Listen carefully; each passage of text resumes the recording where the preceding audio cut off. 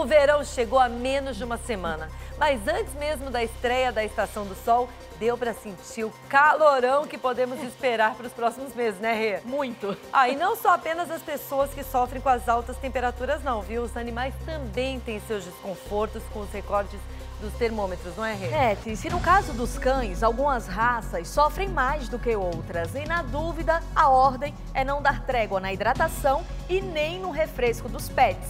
Neste sol de verão, sombra e água fresca nunca são demais, né? Pra gente e pros bichos também, como mostra a reportagem de Gabriela França.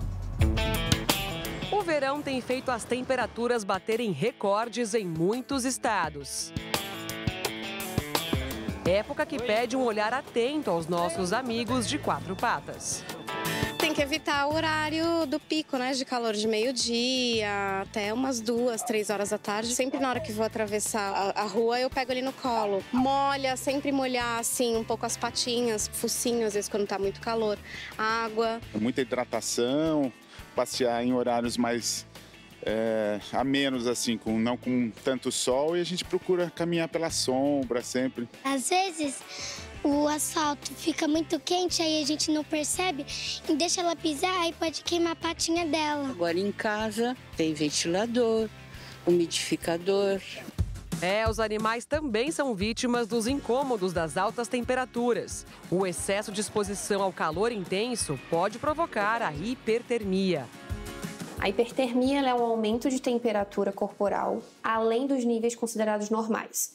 Então, a gente considera uma hipertermia acima de 40 graus, que o paciente entra no quadro de intermação, que é quando a temperatura sobe num nível que o próprio organismo não consegue compensar isso. Foi o que aconteceu com o cachorro do Guilherme. O vídeo divulgado nas redes sociais mostra o Nanuque já no estado extremo da hipertermia. Ele tava largadão no chão, então já fui metendo água nele com o ventilador de frente pra já ir baixando a temperatura, que não resolveu, cara, porque já deveria estar sofrendo isso há um tempo, né? Então eu tava mais debilitado.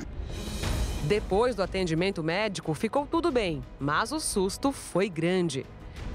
Fomos fazer a hidratação com soro para ele se recuperar mais rápido junto com a medicação. Olha só como a carinha dele aqui já estava melhorzinha. E agora, como o Nanuque nunca passou por isso, cuidado redobrado. Olha só a felicidade do bichinho. Chega na hora do almoço todo dia, a gente molha o corpinho dele. E em seguida já colocamos o ventilador de frente para garantir a refrigeração do molecão aí. Com a Bela e a Naomi não foi diferente. Elas começaram a apresentar os sintomas mais comuns da hipertermia respiração ofegante e língua roxa. Eu levei elas no parque, estavam brincando, a temperatura bem alta, brincaram com outros cães, bolinha, e aí em determinado momento eu comecei, comecei a perceber a respiração muito ofegante, a língua muito enrolada, começando a ficar meio roxinha, e aí eu coloquei elas na guia. E aí eu percebi também que a, a, a gengiva estava branca. Rodrigo ainda esperou alguns minutos na esperança de que os sintomas melhorassem, o que não aconteceu. E aí eu entrei em contato com a minha veterinária de confiança. Ela falou para ficar paradinha com as cachorras ali no local de sombra, o mais fresco possível, e tentar refrescar elas com água. Fiquei meio preocupado ali, porque não é aquela coisa que a gente, né, a gente sabe que existe a possibilidade, mas quando acontece com a gente, você fica meio sem saber o que fazer, mas aí, graças a Deus, deu, deu certo. E a partir daí eu tomei é, outros cuidados. A raça da Bela e da Naomi está entre as que mais sofrem com calorão, já que são cães braquicefálicos. A palavra é complicada, eu sei, mas as raças braquicefálicas são bem conhecidas. Bulldog, Pug, Shih Tzu, Boxer.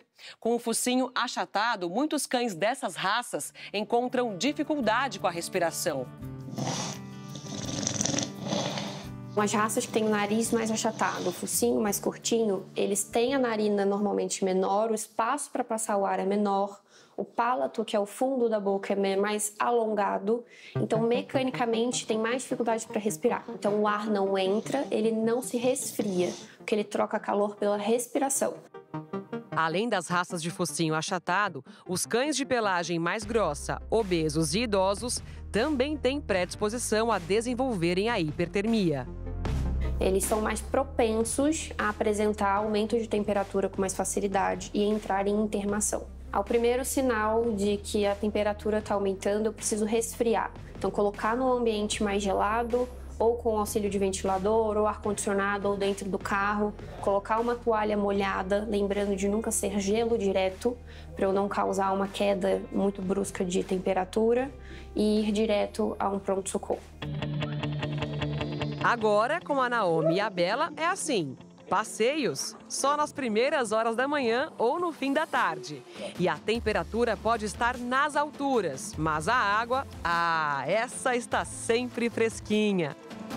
Sempre aguinha fresca, aguinha gelada, gelo como opção de enriquecimento ambiental, brinquedinhos, alguns que eu coloco no congelador, eu ofereço para elas, tá? É, frutas frescas, né? As frutas que melancia, melão, essas frutas que a gente pode oferecer para eles, que também tem bastante água, então ajuda nesses dias mais quentes.